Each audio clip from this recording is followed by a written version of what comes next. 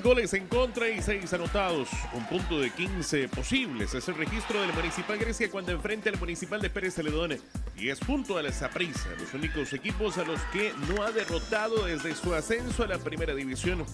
Incluso los griegos lograron arrancarle más puntos al equipo morado que al generaleño. Será un partido muy difícil, ¿verdad? Nosotros estamos por nuestro objetivo, que es la clasificación y, y el campeonato, ¿verdad? Y para eso tenemos que, que ganarles a, a todos si queremos lograr el objetivo. Grecia tiene la oportunidad de continuar en el liderato que ha mantenido desde la fecha 4 del certamen.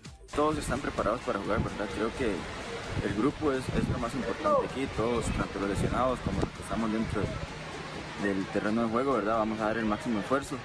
Los griegos tendrían las bajas de Diego Estrada, Víctor Pérez y Kevin Arrieta para este compromiso.